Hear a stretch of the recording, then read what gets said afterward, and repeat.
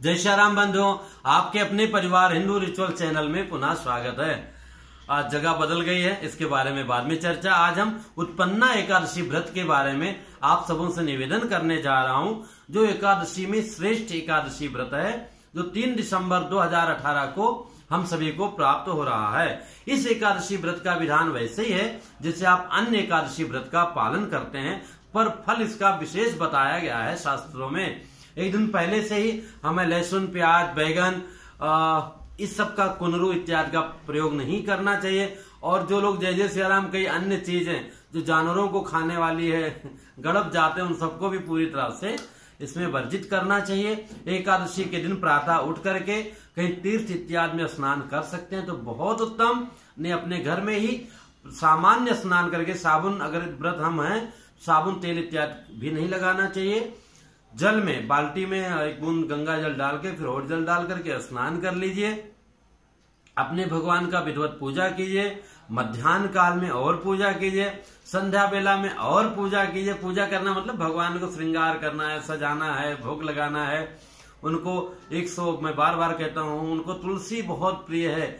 ग्यारह, इक्कीस, इक्यावन, एक सौ आठ, एक हज़ार आठ, उनको तुलसी अर्पण करें। अगर संभव है, समय है आचार्यगण उपलब्ध हैं और बजट भी है, बढ़िया से सत्यनारायण कथा भी सुन सकते हैं, अथवा स्वयं पाठ कर सकते हैं, भजन संकीर्तन इत्यादि भी कर सकते हैं, रात्रि जागरण कर सकते हैं। इसमें और जो बातें बताई गई हैं कि जो चोर हो, बेईमान हो, झूठ बोलते हो, मक्कार हो, और दूसरे व्यभिचारी हो, और भी तरह के लोग हों, इन सबसे बात नहीं करना चाहिए, इन सबसे दूर रहना चाहिए।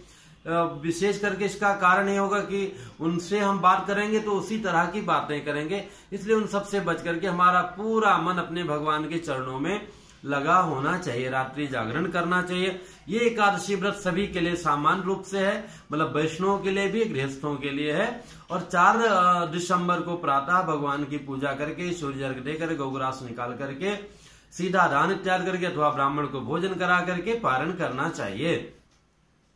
ये एकादशी विशेष क्यों है? बहुत बड़ी कथा है, पर संक्षेप में इतना जान लीजिए कि जो बहुत बड़ा दान, अश्वमेध यज्ञ में भाग लेने का पुण्य मिलता है, अथवा भूमि दान का बहुत बड़ा लाभ मिलता है, घर दान का, स्वर्ण दान का, फिर गौ दान का, उसके बाद में कन्या दान तो सर्वोत्तम माना गया है। उसके बदले में बाद में फिर अन्न दान है। और जो सबसे बड़ा जल दान, इत्यादि जो दानों में श्रेष्ठ हैं। सारे दानों में जो भी सर्वोत्तम दान उनका जो फल होता है, और कई बार दान करने का जो यहाँ तो हज़ारों बार आया फल मिलता है, वो फल हमें एकादशी स्वरूप में जो उत्पन्ना एकादशी मार्ग शीर्ष कृष्ण पक्ष की है, इस एकादशी का व्रत का नियम पूर्वक पालन करने से हमें वही फल प्राप्त होता है।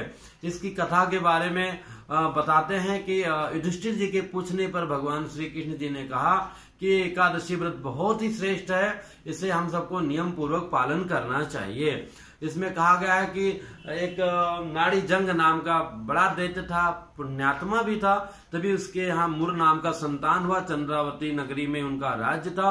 पूरे जो है देव लोग पर जो है जाकर के आक्रमण कर लिया। दैत्य का मतलब क्या होता है? बुद्धि का नाश करना। जो आपके लिए कल्याणकारी शक्ति हो, उनमें जो है आपको बुराइयाँ ढूंढना। तो वो क्या हुआ कि वो जो है, सारे देवताओं पर आक्रमण किया, इंद्र लोग आज सब चला गया, सब लोग शिव जी के दरबार में गए। शिव जी ने कहा, भैया, ये तो साधारण नहीं, बड़ी बीमारी है। भगवान नारायण के पास जाइए, फिर लोग क्षीर सागर में गए, उनसे प्रार्थना किया। भगवान ने कहा, चिंता मत करो, आप लोग चंद्रावती नगरी की तरफ़ चलो। और जब ये लोग वहाँ पर पहुँचे तो मुर नाम का राक्षस जब इनका पीछा किया, सब भगे वहाँ से भगवान विष्णु सामने थे। अपने बाणों से जो है तमाम सारे सभी राक्षसों को मार गया है लेकिन जब मुर के पास जाता तो जो है वो फूलवत जो है बाण हो जाता था।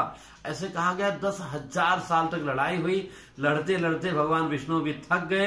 और बाद में जाकर के वो बद्रिकाश्रम के एक दिव्य गुफा में पहुँच गए और बड़ा सा विशाल का गुफा था, एक ही तरफ़ रास्ता था, वहाँ जाकर के विश्राम करने लगे।